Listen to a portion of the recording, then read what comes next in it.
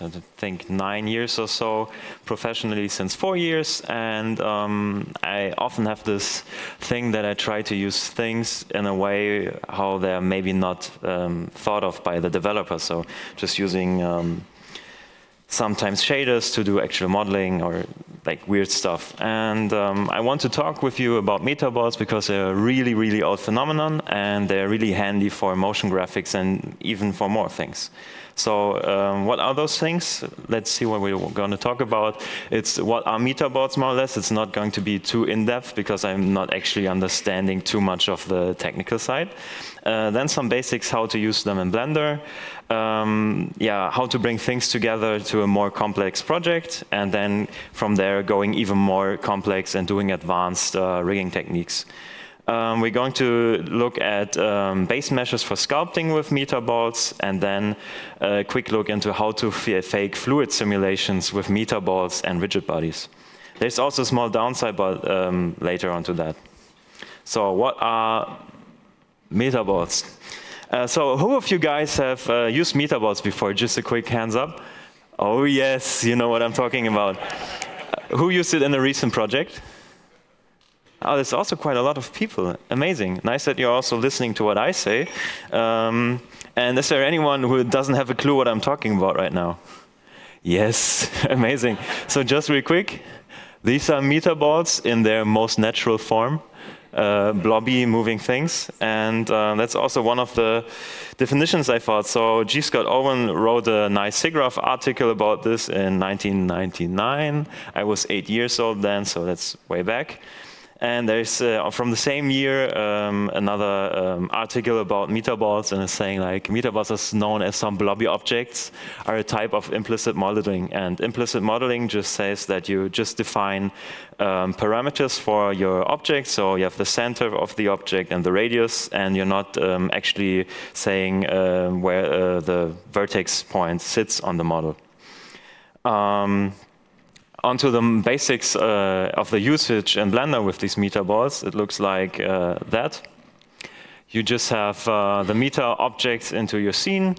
Uh, they can be animated or they can be static, and as soon as you um, add another copy of the object, you will see you get this nice uh, wielding action. So every time um, a metaball goes uh, into a close proximity of another object, they will um, yeah, intersect and have this nice wielding movement. Uh, so you can see this again. So again, it jumps together. These are already animated, but animated by hand. Uh, we will uh, later look at how we can improve that. Um, metaballs also have different types. Um, so when you add a new metaball, you can change between a capsule, a ball, plane, uh, an ellipsoid, which is not regular, and then the cube. And the cube, you need to turn the view so you can see it's actually a cube. Um, to get this view of metaballs with the um, red and green ring, you actually need to go into the uh, edit mode. So yes, uh, metaballs have an edit, edit mode. And mm, these allow you to uh, further change your um, metaballs and also give you these nice options to change the stiffness per metaball um, or subtract even metaballs from each other. The next thing we need uh, when working with metaballs is grouping. So uh, usually when you start out with this and you add a capsule and a plane and a, um, another ball, they will all um, behave in one blob. So they will all go into the one same object. And this will look like this. But maybe we want to have uh, two objects in our scene and we want to have two blobby objects that don't interact with each other. It's quite simple. We just use the um, name of the object and give it a new name. So all the meta objects with the name um, meta ball single will be the parent, the master, and then we have children of that, or not children in a hierarchical order, but in a, a metaball order with the dot 001, dot 002. These will um, always act as the slaves, and they will blob into the same uh, object. So with the knowledge of that, we can already have two characters that are blobby but not um, wielding together. Um, texturing and coloring, and Yes, that's possible. I was first not sure if it's even possible because I tried to put a texture on and then you get an automatically generated UV. You can then in cycles use the generated um, color te uh, texture coordinates or the object coordinates. But there's also a handy trick to actually uh, color just parts of your object. And this is by using, uh, at least in cycles, uh, gradient textures or uh, other texture types too uh, with which you can already change the texture in the renderer view. I go over here. That's just a small example. But we can also introduce a texture coordinate for an empty. So uh, here in the scene, there's an empty. And as soon as I put the, also, also this is not working, so to the cycle steps, if you use the texture coordinate for a different object, it will not show in the material view, but we can see in the rendered view that we are now able to um, change the appearance uh, of the texture and the origin of the texture coordinate um, by empty. And uh, knowing that we can parent things together in Blender, we can also parent this empty to a metaball and control the color of this metaball over a whole scene, animation, and character again. Bringing things together, I'm always talking about this character. I'm going to show you a small character now that's just with the basics uh, of parenting in Blender, so set parent and set the color parent, and then we try to go further from that. Yeah, parenting good parenting helps everyone, not just you, but also the people around you. And the small character I came up with is this little chicken dove type of thing. And for now, it's uh, not moving correctly because the colored head did not move with it. But if I parent everything together, I can move the actual um, chicken and the head will stay uh, dark and we can also animate it real, real simple. The animation of that will look something like this, not really animated just as a, preview purpose of uh, what we're doing here. The, uh, we have different kind of meta groups, so the legs and the facial um, parts are done in one group. The other group is inside of this uh, body mesh, which can deform and animate. But we can also use this in a more advanced ca uh, case. And this would be advanced parenting, which is, well, rigging. uh, so we just introduced, where's the pointer of this thing? Ah. So uh, we just introduced this kind of uh, armature into this object. And we're not parenting things uh, onto each other again, but we're parenting to it uh, a control object. Having this control object, now we are able to do more complex uh, hierarchies, and we are able to store the animation of the things into a, a one armature animation, which is handleable by um, an artist. So, and applying this to this complex character I talked about, we ran with this kind of chicken, which maybe could also play another role in the Dweeb series. uh, and you get this real articulate character. Um, you can have uh, then these simple IK rigs, which work quite well with um, this. You can then also scale um, the metaballs to have an eyes close, uh, and I'm just scaling the um, another meta ball inside of the eyes to uh, double scale, and then the eyes will blink. Um, and also I can then just render this out. This is just for a preview purpose, so the legs are glitching a bit. But in general, you can see that it's actually a viable tool to create um, a kind of character. Of course, it's a stylized character, but um, you can take this really far and add lots of detail with this because you always get a, a tessellation on the fly of the meta objects. Uh, to show another uh, quick thing inside of Blender, you can also do it further. And uh, Jim Moran, hi, you, you, call it the drumstick attack, I guess. Uh, you can actually pull out the drumstick of the chicken. And I modeled this chicken from metaballs in its like regular pose.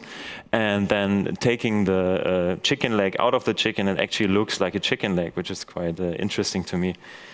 another thing we get, we get like nice details um, when the chicken leg moves it can actually uh, behave quite nice when it's closing and opening, which is hard to get from uh, real topology. Um, yeah, and then a really huge chicken is this one here, which I also found on the SIGGRAPH uh, website, which was uh, done by MetaRace. Um, and I think, if I understand the blog post right, this is made from millions of meta objects that are put together with a plugin. Um, but I'm not quite sure how they did it. They at least did it with metaballs, which is amazing to me, like the whole dinosaur. Uh, so, guys, go crazy with this. Like, you can rig some characters that are uh, moving in their shape, so you can change the shape while they're animating. You can create a database of characters that can be uh, made from one base mesh, and you can switch the proportions. You can do really a lot of this. You need to figure out the way when the arm gets too close to the body, but that's up to you if you want to keep it or uh, take it as an artistic glitch. So for something completely different, you can also use the metaballs for sculpt-based meshes, which is another thing I found out in my workflow. So I'm a really bad box modeler when it comes to base meshes because it takes me more time to do this rough base mesh than actually sculpting. Um, so why do I use metaballs for this? It's um, I can sketch the volume and um, really think about volume uh, a, on the fly. I have an editable tessellation, so I can change the uh, resolution of my base mesh, how detailed it is from um, really slow, uh, really low to really high. I can wield parts together real easily, so I can have even a library of noses from characters and just drop them onto uh, each other, and they will wield perfectly, and I will have one watertight mesh. And again, like with the characters, I can even um, do variations of one character real easily. And then if I have done the base mesh, I don't need to go in and actually um, sculpt or uh, box model something new, but I can just add parts and do variations of this one character. I actually tried to record lots of these live editing sessions I did four tries and I hit record in one session, and this was this. it's not even the best one. But um, on the concept art of Roman Semenko, uh, you can check him out on ArtStation just to give props to this amazing artist. Um, I tried to do some um, sculpts just to preview uh, or base meshes uh, how this can work. And what you can see is that I'm most of the time working in one side view and then um, the volume gets more or less added automatically, and I can play around with that um, later on. Then also adding the um, holes of the noses by subtracting a metaball, which is also possible, uh, to already add detail. Um, while actually doing this um, uh, models of this special artist, I found out that it's really interesting to do like already hair texture with um, the metaball, so you don't do just the volumes, but you can also start to add details. And when it's done, it can look something like this. And um, these models are um, quite high poly to render them out for you as a graphic, but you can also have them really low poly and have uh, enough space for your own uh, interpretation of the creases. Um, so now you're stuck with a um, metaball, right? So what to do with that? You cannot edit the pixels, you cannot edit the sculpting, so you need to convert it to a mesh. But this is rather easy. Um, what I recommend you, to you is just to uh, save the file as a metaball state and then as a edit state, and you just press Alt and C and create a mesh out of it, and you can start editing uh, the next second. Um, also, symmetry is locked into my Blender version. Uh, Blender version. And then, but wait, there's more. So we now created a character, uh, a base mesh for a sculpt, but we can also fake fluids with this. Um, and I actually, this is the one where I brought uh, the most practical example, and I just show you really quick how it works. So I have a rigid body object that um, is behaving in a scene, and I'm just have this rigid body object, right? It's a sphere that's colliding, it's rigid, and it's not really fluid-like. But I can go there uh, and parent um, metaball to this one object and can make lots and lots of copies of this one rigid body object. And I start to get something like a SPH fluid simulation, just in really simple and stupid. But it's really easy to edit as an artist because uh, rigid body objects are quite easy to understand for us. We can push them around. We can make walls where they uh, bump off. We can say them to um, be a damper, we can say them to be like really bouncy, and we can really nicely art direct our fluid. And this is exactly what I did with the last year's Cycles demo reel. Um, for the um, just intro graphic. Uh, I actually wanted to do like a real fluid simulation for that, but I'm not really proficient with the fluid simulation tool and I didn't know how to um, actually put things. So I was rendering and rendering and rendering and like baking then again. And uh, I didn't have the really fast workflow um, doing these uh, balls, um, I was able to really control the look of what I'm doing by simulating the um, spheres in a quite, um, how you say it, interactive way. So when I added the meta balls, they would actually um, be more or less in real time on my machine. I could change the simulation, and there's a mosquito. Uh, and I had like a second, just um, had a real good feedback of the whole thing. Uh, it's going in the wrong direction. Yeah, there's a downside. And there are multiple downsides of this, and I already talked with Hjalti about that uh, uh coming to the characters um, you would need to find a really good art style for these characters um, so they don't suffer from this wielding. So if you have characters that are really human and articulate and they have their arms by their sides, this will wield together and you have a weird look. Maybe this is what you want, maybe this is not what you want. If it's not what you want, you should look into different kind of grouping or then going back to a mesh object. But it's another huge uh, problem. You won't get motion blur on the meta balls. So this comes just down to uh, the way deformation is handled, not in Blender, but in general. You will have constant deformation on all objects, and you will not be able to get a real motion vector out of this metaball object. So what you get is usual camera motion blur. So if the camera moves around the thing, you will still have natural motion blur but um, the water, the particles uh, will still be hanging without motion blur. And that's uh, also a kind of art direction. If you do the art direction that it doesn't need this kind of motion blur, it's okay. If you actually need it really important, you need to go back to pixel motion blur, which works without using uh, the 3D data, or you upsample your animation, render it at double FPS, and then downsample it again, which is hard on the machines, but not hard to do uh, exactly also there's a small wish from me to the developers maybe. If we could export a meshed version of metaballs into alembic that would be amazing because afterwards we could import this meshed version with like the whole animation as a alembic file and you would be able to add modifiers on that. You would be able to uh, do changes on a frame basis and all the uh, perfect things you get from alembic files. But i have no idea how expensive or like in workforce how um, how hard it is to do that actually. Um, yeah, just I'm running not out of time. I'm much too quick. So uh, I'm just going back and show another thing. No, that's the wrong direction. Yeah, just going to show something again, which I maybe skipped a little. And this is the um, where is it? Is the actual rigging of the thing. Um, so um, with this chicken, um, I actually was able to use uh, mirroring of the uh, not the bone structure, of course that, but also the metaballs. So um, you don't need to worry when mirroring the um, uh, model uh, about the negative scale or anything when you just hit S minus one. So this is a nice thing. You can uh, still do mirroring quite nicely, and it's also helping defining the volume when doing the sculpting. And just um, a small thing about this thing, um, you're just seeing one meta ball, and this comes back again to grouping. So the master of your meta ball system needs to be, to be visible to uh, make the mesh show up in your rendering, uh, in your viewport.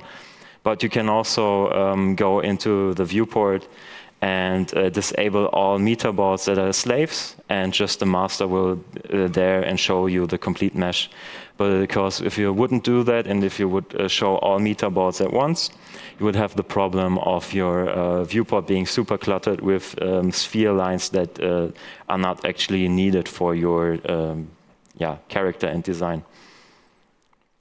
I'm just going to let this run through again, and then I'm also done.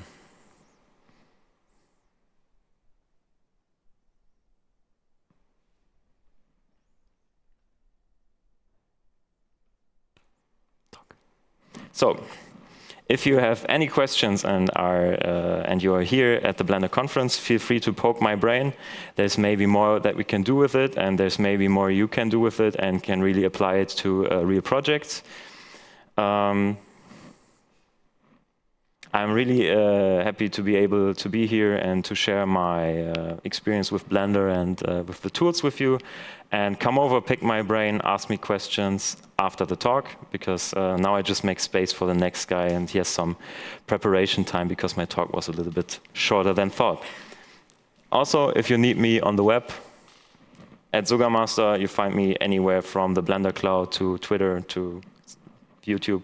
You name it, um, come by, say hello. Bye, thank you.